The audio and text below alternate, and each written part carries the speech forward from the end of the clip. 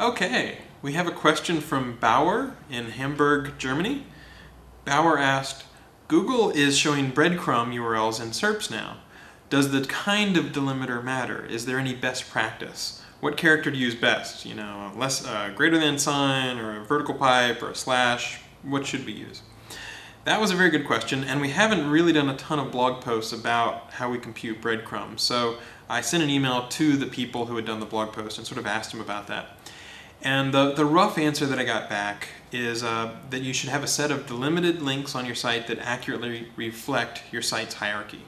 So the thing that I would add as color to that is it's still early days for breadcrumbs. Think about the situation with site links. Whenever we started out with site links, uh, it took a while before, for example, we added the ability in Google Webmaster Tools where you could remove a site link that you didn't like or that you thought was bad.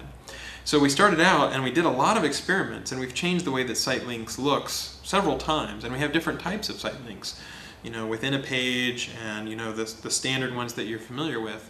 So we've iterated over time. So in the same way it's early days for breadcrumbs, it's only just started. For example, I had, I had seen some prototypes where it was in the rich snippet sort of gray line above the regular snippet.